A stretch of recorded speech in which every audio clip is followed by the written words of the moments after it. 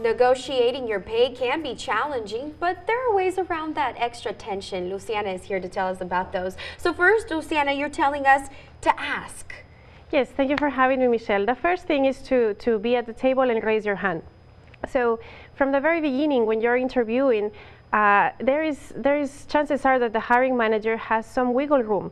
So there is some extra money, even though they offer you a certain amount, you can ask for for some extra, and um, that's when you're first starting.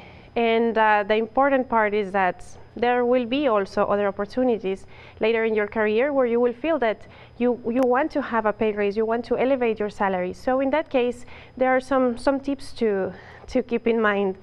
And uh, one of them is that um, you need to do your, your research, not just, oh, yeah. um, yes, not just be prepared knowing what are the average salaries in that industry or occupation, and of course in that region because we have different uh, situations in every region. Right. But also you have to um, make a list of your accomplishments. What have you brought up to the table? How have you positively impacted that company?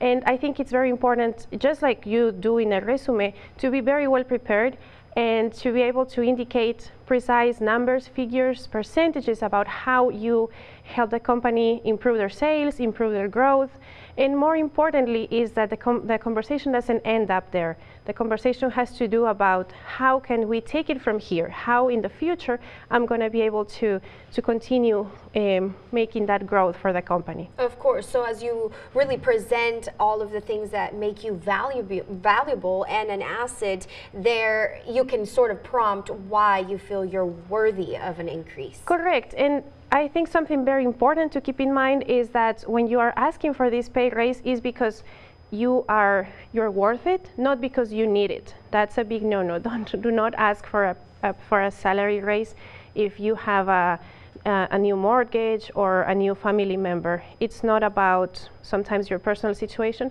but it, it should always be framed as far as how am I making this company better every day? Yeah, you also mentioned be open for non-salary options. What does that mean? That's true. Sometimes the company is not prepared, the, the manager, your supervisor, or the hiring manager might not be prepared to, to have a um, salary, to give you a salary increase. However, they can give you flexibility in other benefits and, and thus you can have other, other perks. For example, they can give you a promotion and that's, that's a good one.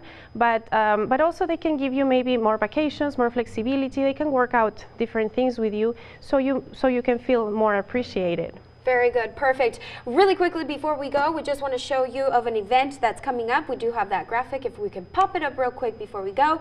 Super fast happening Thursday, April the 12th from 4 to 7. That's the Foster Youth Open House. Thank you so much, Luciana. Thank you, Michelle. We'll be right back. Stay with us.